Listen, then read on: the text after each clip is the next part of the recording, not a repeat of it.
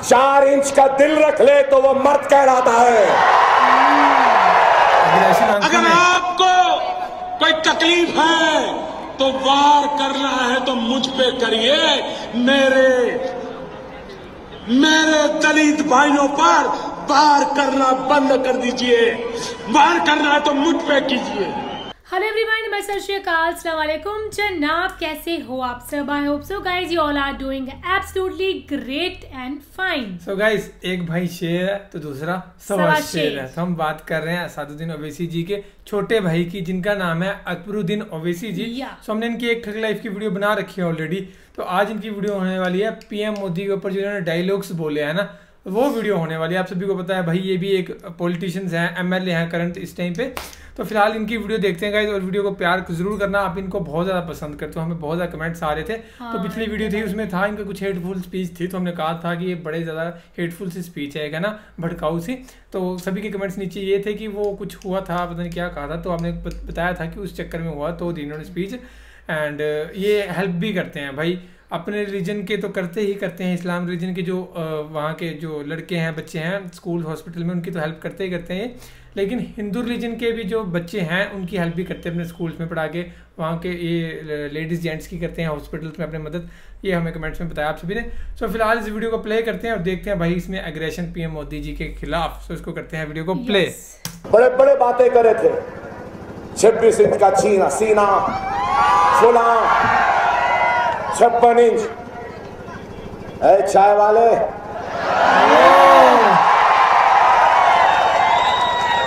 छप्पन इंच का सीना रखने से कुछ नहीं होता।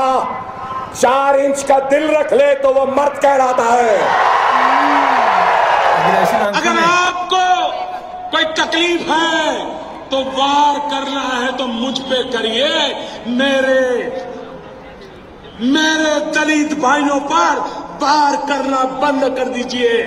वार करना है तो मुझ पे कीजिए। गोली चलानी है तो मुझ पे चलाइए। मेरे दलित भाइयों पर मत चलाइए।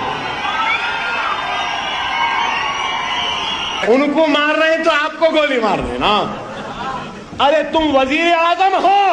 मेरे को गोली मार दो।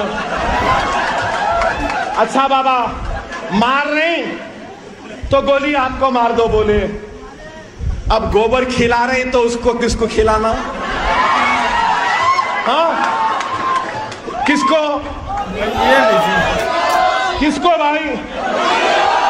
मैं कुछ नहीं कह रहा हूँ। मुसलमान चार चार बच्चे पैदा कर रहे हैं, आठ आठ बच्चे। पैदा करो तुम भी। मुसलमान के चार चार बीवियाँ, तुम भी करो। किसने रोका? अब वो अलग बात है तुमको एक को नहीं संभाल रहे हम चार को संभाल सकते हैं। अरे हिंदुस्तान की पहचान हिंदुइज्म नहीं है मुस्लिमिज्म नहीं है सिखिज्म नहीं है पारसीइज्म नहीं है क्रिश्चियनिज्म नहीं है। हिंदुस्तान की पहचान हिंदुस्तान का सेक्युलरिज्म है। Yes. मैं कहूँगा कि हिंदुस्तान का सबसे बड़ा झूठा सबसे बड़ा धोखेबाज सबसे सबसे बड़ा हातिल अगर कोई है तो वह नरेंद्र मोदी। सवाल उनसे है, जिन्होंने कहा कि बड़ा अवतार है, मसीहा है, फुला है, बदलाव आया चेंज आया, अच्छे दिन, वाह, क्या दिन आ गए लाइनों में खड़े हैं लोग। क्या अच्छे दिन, क्या इस अच्छे दिन के वास्ते वोट दिए थे देने वाले? मिस्टर मोदी, पंद्रह लाख का जो सूट पहने थे ना, ओबामा आए वक्त मोदी मोदी मोदी लिखा हुआ था। वो काले धन का था या सफ़ेद धन का था? अरे मुसलमान में राम का खून नहीं है, मुसलमान में आदम सलाम का खून है। अल्लाह मोहम्मद रसूलुल्लाह का कलमा गूंजता है अरे हिंदुस्तान को लव जिहाद, घर वापसी, गौ रक्षक की ज़रूरत नहीं है, हिंदुस्तान को दो वक्त की रोटी की ज़रूरत है। तो वज़ीर आज़म क्या बोल रहे हैं? क्या क्या बोल रहा है छिचोरा आप बताइए, कैसा आदमी है बताइए। दिख रहा है? वज़ीर आज़म का वैसा। जहाँ गया, गले मिलने रहा सिर्फ़ एक काम अच्छा करा। ओबामा आए वक्त दिल्ली की सर्दी में चाय डाल के पिला रहा था। यही कितनी तकलीफ़ होती है मुखातिब करते करते मैं जानता हूँ, मेरा अल्लाह जानता है। लेकिन फिर भी हूँ ज़िंदा। जिस किडनी पे गोली लगी थी, चाकू लगी, डॉक्टर्स बोले, निकाल देना, पूरी फट गई। एक डॉक्टर बोला, नहीं, रहने दो, बाद में देखेंगे।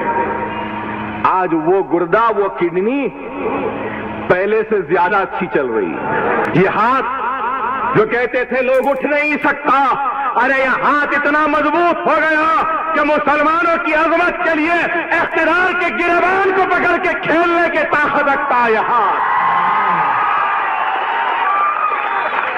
अरे, ये सब कुछ मुमकिन हुआ तो क्यों हुआ?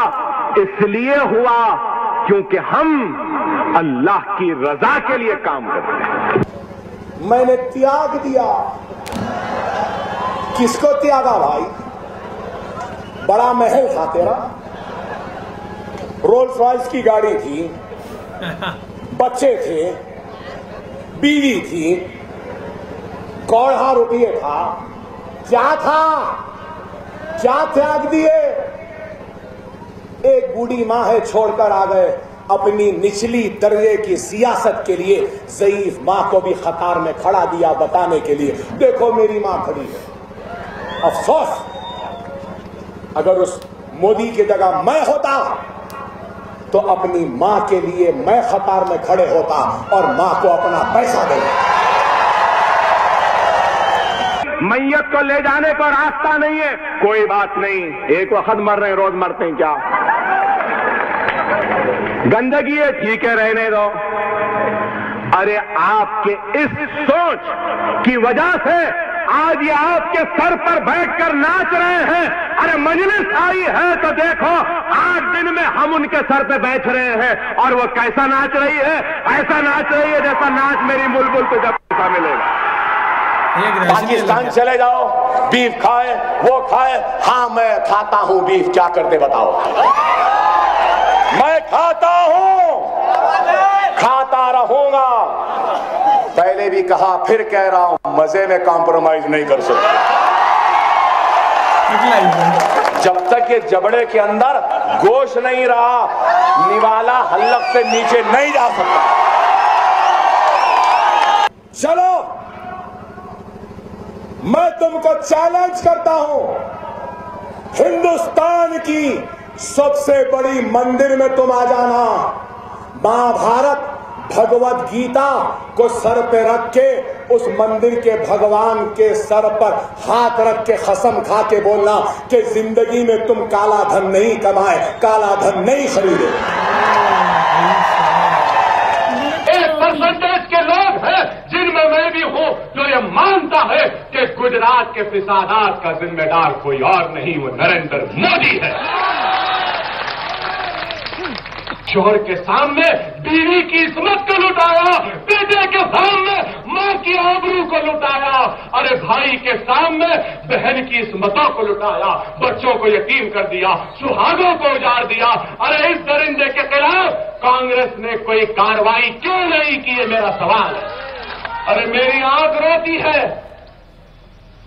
अगर कांग्रेस 2004 में इख्तिलाफ पर आने के बाद अगर इस शख्स को चार्जशीट करती, जेल में डालती, हथकड़ियाँ पिना देती तो ये शैतान, ये जालिम हिंदुस्तान का वज़ीर आज़म नहीं होता। ये आरएसएस नहीं, ये क्लब ऑफ़ बैचलर्स है। और ये लोग जो खुद तो शादी नहीं करेंगे, खुद ज़िम्मेदारी का बोझ नहीं उठाएँगे खुद तकलीफ़ नहीं उठाएँगे। बीवी और बच्चों की पुकारों को, उनकी खिलखिलाहट को, उनके तनखीदों को और उनके गुस्सों को नहीं झेलेंगे। लेकिन दूसरों से कहेंगे कि आप चार चार पैदा क्या करेंगे? क्या करेंगे? जेल में डाल देंगे ना? सूली पर लटका देंगे। मार देंगे ठीक है हम मरने तैयार हैं सूली पे लटकने तैयार हैं जेल में जाने तैयार हैं लेकिन इजहार हक से मुँह मोड़ने तैयार नहीं है नहीं है नहीं है हम तुम्हारा करेंगे और अगर साल, दो साल, पाँच साल, दस साल या ज़िंदगी भर जेल में रहते हुए मर भी जाना है तो अकबरुद्दीन ओवैसी को वो भी कबूल है। लेकिन तुम्हारे सामने हम झुकने को तैयार नहीं है। इलेक्शन में पूरा कैश में खर्चते हैं और फिर बोलते हैं भ्रष्टाचार के खिलाफ कर रहे हैं। And I'm sure now the BJP will make make the election campaign payment on Paytm. I think I'm sure. Mr. Modi will make a payment in UP elections by Paytm or geo banking. Of Please, course. please. ये तो ऐसी हो गया हथेली में जन्नत दिखाना एक तरफ़ उनु है एक तरफ़ इनु है अब बीच में तो बीच वाला है अब समझ नरेंद्र मोदी बोल रहे हैं रिलायंस के दवाखाने में कि आज से सदियों, सैकड़ों साल पहले प्लास्टिक सर्जरी थी। तो कैसा थी वो भी बता रहे हैं कि इंसान की गर्दन काट दी गई तो हाथी का सर लेकर आया गया और प्लास्टिक सर्जरी में क्या है बताइए? क्या है बताइए? गुजरात में पढ़ाया जा रहा है कि वाहन गाड़ियाँ महाभारत के दौर में आ गई थी। टेलीफोन था उस जमाने में। नहीं मालूम ये भी कौन से, किसके अवतार से नहीं। कन्वोकेशन था, डिग्री की तकसीम थी वहाँ गए, मुखातिब थे। मुखातिब करते करते रोहित का ज़िक्र लाए रोहित का ज़िक्र लाते ही क्या अदाकारी क्या एक्टिंग थी। देखो जाके नेट पे भाई। कि मेरे ही देश के एक नौजवान बेटे रोहित को आत्महत्या करने के लिए मजबूर होना पड़ा।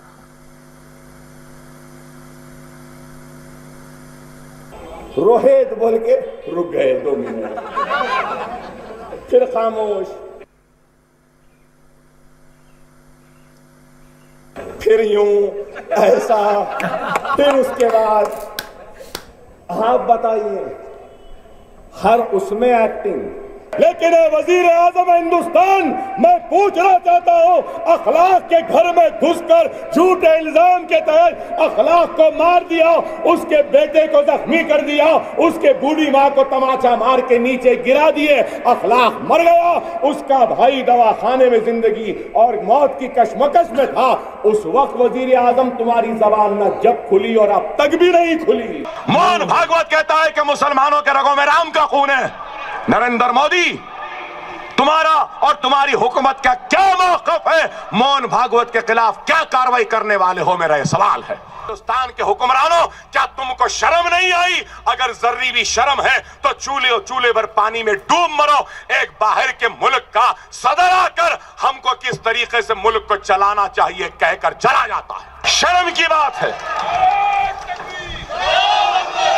इख्तियार मिला तो हुकूमत करना भी नहीं आया। ये तो नॉन रेजिडेंट प्राइम मिनिस्टर हो गया। बस घूम रहा है। हमारे पास हैदराबाद में उर्दू में बोलते हैं। पता नहीं यहाँ भी बोलते या नहीं। कि नादीदे को मलिदा मिला तो फातिहा दे मिला नहीं मिला।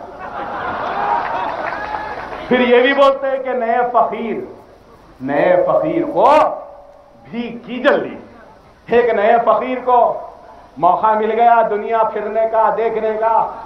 तो उताना पड़ा है बस फिर रहा है फिर रहा है फिर रहा है। कहीं जाके ड्रम बजा रहा है दो दर दर दर दर दर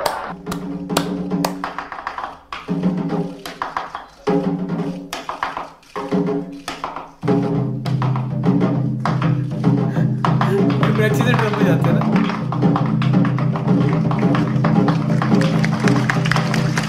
मंजलिस गांधी भवन को नहीं गई।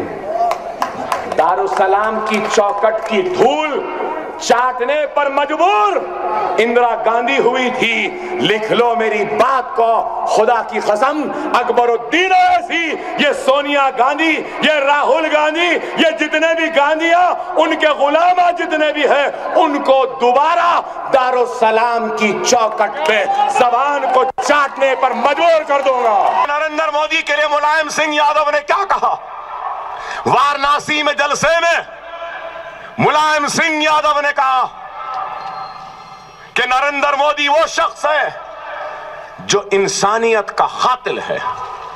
मुलायम सिंह ने कहा वाराणसी में कि नरेंद्र मोदी वो शख्स है जिसके हाथ हिंदुस्तानियों के खून में डूबे हुए हैं, रंगे हुए हैं। और वही मुलायम सिंह, वही मुलायम सिंह इसी इंसानियत के कातिल को आशीर्वाद देता है, अपने घर की शादी में मधु करता है और उसी खून में डूबे हुए हाथों में हाथ अपना रखकर हाथ मिलाता है। मुंबई नगरी के यूसुफ खान, दिलीप कुमार, अमिताभ बच्चन, शाहरुख खान, सलमान खान, शर्मा जाना और कहना कि हमारे से बड़ा एक्टर तो ये है।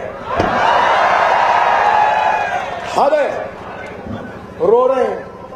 मुझे मार देंगे। मुझे एक फ़िल्म का गाना याद आ गया। कौन सा पिक्चर था मुझे याद नहीं। मैं स्कूल में था जब। फ़िल्मों का शौक था। तो वो फ़िल्में याद नहीं आ रहा कौन सा फ़िल्म था। मगर ये याद है, अमिताभ बच्चन का फ़िल्म था। अमिताभ बच्चन गाना गाया। और वो गाना क्या था? हँसते हँसते रोना सीखो।